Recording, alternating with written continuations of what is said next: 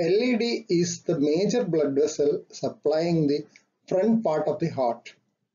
Distal disease is disease in this vessel beyond the first two major branches. LAD is short form for left anterior descending coronary artery.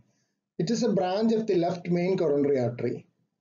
LAD supplies blood to the front, that is the anterior portion of the left ventricle, which is the lower muscular chamber of the heart. Distal LAD disease is presence of plaques in the vessel beyond the first two major branches. It is less significant than proximal LAD disease. Proximal LAD is the initial portion of the LAD before the first major branch. Blockage of proximal LAD is more serious and will require angioplasty, that is dilatation with the balloon or coronary artery bypass surgery. This is the coronary angiogram, that is X-ray imaging of the blood vessels of the heart by injecting an iodinated contrast material into the blood vessel.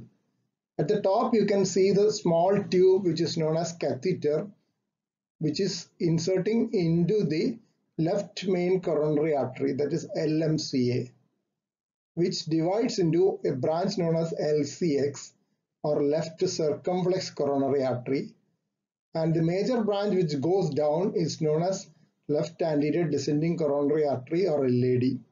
It has multiple branches, diagonal branches as well as septal branches which are shown here.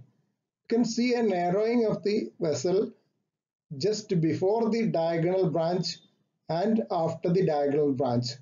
These are plaques which can progress and cause total occlusion of the blood vessel. This is mainly a distal LAD disease and usually distal LAD disease is treated by optimal medical management and not subject to angioplasty or surgery.